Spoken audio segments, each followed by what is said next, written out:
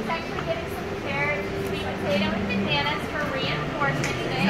All of our training is done using positive reinforcement, so we basically just give them treats for behaviors that we want, and behaviors that we don't necessarily want, then we just ignore it, and then we just ask again for the behaviors that we do like, and then those treats will actually make it more uh, likely that he'll perform that behavior again.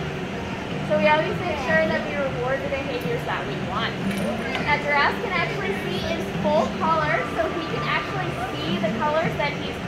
over here on the canvas. Oh my god, that's so good! And you might notice he's also holding that paintbrush with his tongue.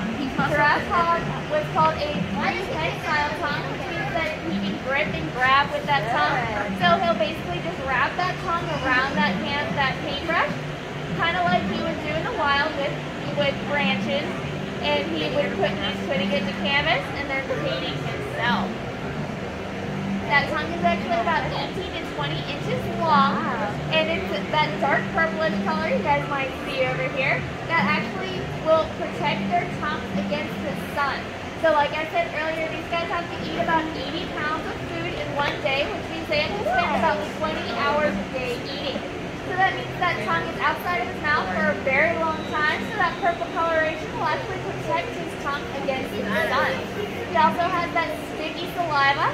So in the wild, these guys will tend to eat trees and shrubs that are very thorny. So those uh, that sticky saliva will actually coat those thorns so that they can eat it a little bit easier.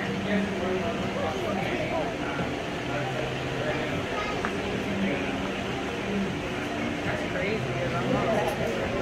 Now these guys, this is very enriching for these guys. These guys do actually very much love to paint, and a portion of the proceeds that we get from these from this painting, actually the whole uh, painting itself, the cost of the painting goes to Giraffe Conservation Foundation, which goes to help this giraffe in the wild. The giraffe are actually going through a silent extinction right now, so people don't actually know they're going extinct but there's actually fewer wild giraffes in Africa than there are wild elephants. No, he dropped the paper. That's okay.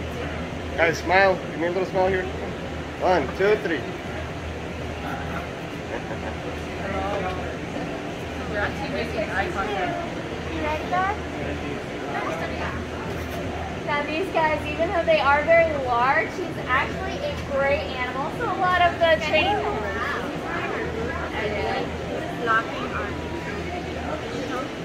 Excuse me, sir. If you Sorry. don't mind, we're just doing a VIP experience No right here. I appreciate it. Thank you. So, these guys, even though they are very large, they are still gray animals. So, he, Bobby can be about 3,000 pounds, but these guys can very easily be taken down by a lion or a crocodile. So, out in the wild, these guys will always have at Yeah, least one giraffe stand guard while other giraffes are drinking or eating. Uh, also, they're known as the watchtower alright, I'll get it later.